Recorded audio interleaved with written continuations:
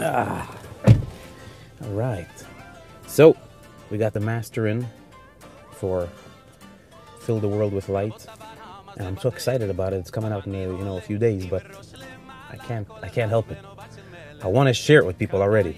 So we're gonna go around we're going to invite people to listen to it for the first time together with us. So come on. יהודי אני, זה משהו נצחי. בני אברהם, יצחק ויעקב, בני ישראל, רבקה, רחל ולאה.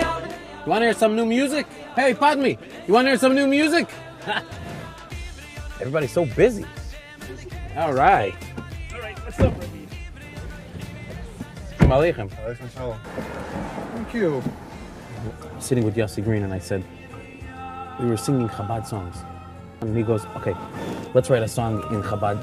I was gonna go Style. I was gonna mention something to you that has that. Yeah. Wow. Every person. There's shot. You ever heard of this guy, Shlomo Yehuda Rechnitz? Yeah, of course. I know his, I know his parents. No kidding. So he wrote this song.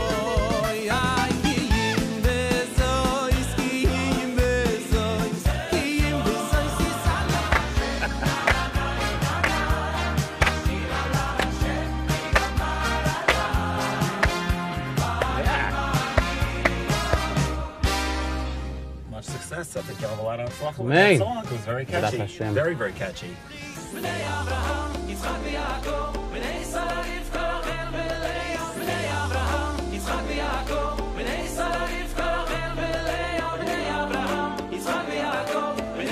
Two, three, and...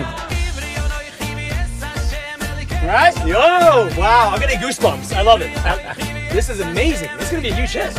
What do you think?